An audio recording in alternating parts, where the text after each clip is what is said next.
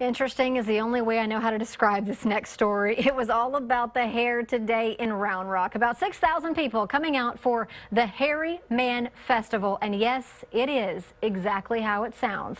They had music, food, and of course, a competition for the hairiest man. It's very flattering to, to hear the whole crowd uh, yelling and screaming for you. Uh, but it's also a little, uh, uh what would you say, kind of surreal to be applauded for your hair. Wow, it was all to raise money for several nonprofits. This is the 23rd year for this festival.